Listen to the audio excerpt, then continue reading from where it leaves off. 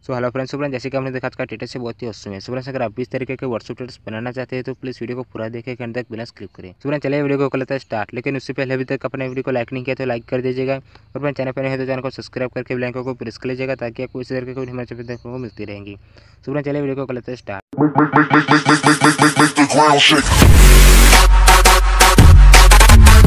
So friends इस तरीके का व्हाट्सअप स्टेटस बनाने के लिए आपको अवेयर एप्लीकेशन की ज़रूरत पड़ेगी। सो फ्रेंड्स आपको अवेयर प्रो की लिंक चाहिए तो आपको हमारे टेलीग्राम चैनल पर चले जाना है। वहाँ पर आपको इसकी प्रोजेक्ट की लिंक मिल जाएगी। सो फ्रेंड्स सबसे पहले तो हम अवेयर को ओपन कर लेते हैं। ओपन करने के बाद आपको कुछ इस तरीके के इंटरफेस देखने को मिलेगा। सो फ्रेंड्स सबसे पहले आपको क्या करना है सॉन्ग सेलेक्ट करना है? सो फ्रेंड्स सॉन्ग सेलेक्ट करने के लिए आपको थ्री लाइन के ऊपर क्लिक करना है।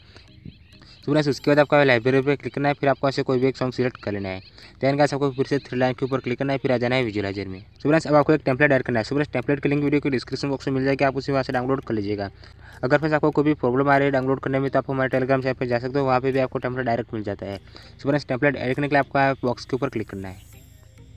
सो फ्रेंड्स उसके बाद आप अपने नीचे देख सकते हो लोड फ्रॉम फ़ाइल लिखा है। तो आपको उसको क्लिक करना है, फिर अपने फ़ोन स्टोर में जाइए और वो टेम्पलेट एड कर लीजिए जो भी आपने डाउनलोड किया है एड करने के बाद फ्रेंड्स आपको लास्ट वाला बॉक्स के ऊपर क्लिक कर देना है, फिर आ जाना है बैक सो टेम्पलेट कुछ इस तरीके से दिखेगा। जो मैंने सबसे पहले तो आपको पेंसिल वाला आइकन के ऊपर क्लिक करना है। इधर आप देख सकते हो पेंसिल वाला आइकन है तो आपको उसके ऊपर क्लिक करना है। उसके बाद फ्रेंड्स आपको क्या करना है, इधर आप देख सकते हो सबसे फ़र्स्ट वाले में है उसके अंदर लिखा है बैकग्राउंड तो आपको उसके ऊपर क्लिक करना है। फिर आपको साइड में जनरल के ऊपर क्लिक करना है, फिर इसको विजिबल कर लेना है। विजिबल करने के बाद हम फिर से जनरल के ऊपर क्लिक करेंगे। और फ्रेंड्स, आपको क्या करना है? नीचे इमेज के ऊपर क्लिक करना है, फिर नीचे कस्टमर इमेज के ऊपर क्लिक करना है, फिर नीचे पी की इमेज पर क्लिक करके आप कोई भी एक अपनी बैकग्राउंड में ऐड कर लीजिए। सो फ्रेंड्स उसके बाद आपको आना है बैक सो फ्रेंड्स उसके बाद आपको क्या करना है? आप जैसे इमेज के नीचे टैक्स लिखा है तो आपको क्या करना है? उस इमेज के ऊपर क्लिक करना है, जिसके अंदर टैक्स लिखा है।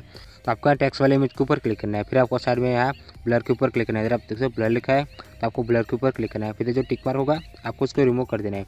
इसको रिमूव करने के बाद हम आ जाएँगे बैक सो जैसे बैक आते हो तो इधर आप देख सकते हो आपकी पी टैक्स है, वो आ चुकी है और एक बैकग्राउंड इमेज भी आ चुकी है। अब फ्रेंड्स आपको क्या करना है।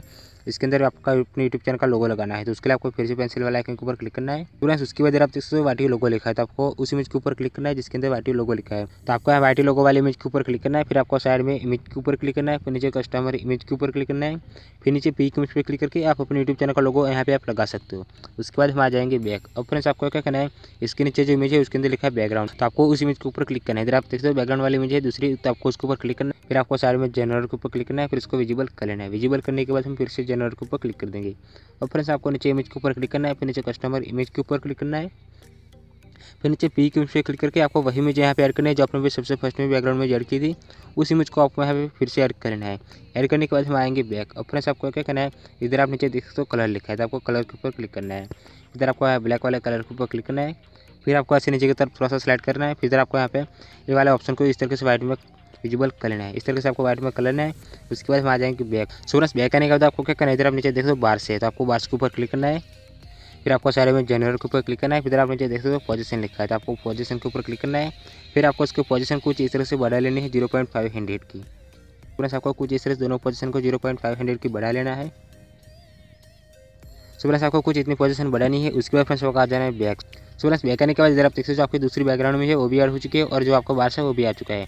और फ्रेंड्स आपको उसके अंदर कुछ भी नहीं करना है। अब आपका जो व्हाट्सअप ड्रेस बन चुका है, अब चाहे तो आप उसे प्ले करके भी देख सकते हो। सो फ्रेंड्स अब आपको क्या करना है, इसको करना है सेव सो फ्रेंड्स सेव करने के लिए आपको सेव के बटन के ऊपर क्लिक करना है।